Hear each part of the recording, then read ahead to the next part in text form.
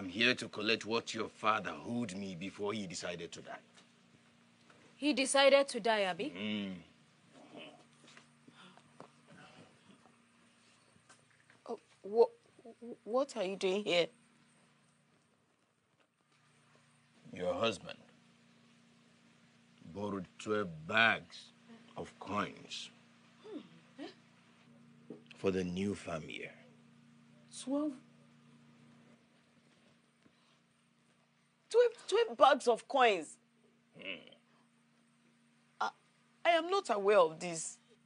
He, he, did, he did not tell me, and, and he tells me everything. Apparently not.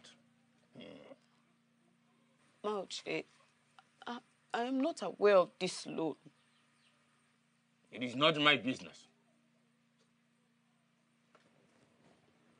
I want my money. Your husband has no right to die without paying what he owes me. Tafẹ́ ti kú. Ká ní a mọ̀ pé wọ́n ń jẹ yín lówó. A sọ fún wọn pé Tafẹ́ o, má kú lẹ́ni o, kú lọ́la. Bàbá fẹ́ wá gba owó ẹ̀ lẹ́ni. Warn her. Warn your daughter. Warn her not to escalate this already volatile situation. Or what? You will lose your temper and push me?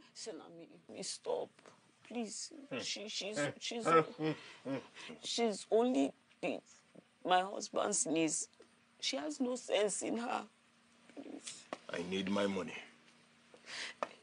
Search my spirit and soul. I don't have that kind of money. Where will I get that kind of money from? Okay. Okay.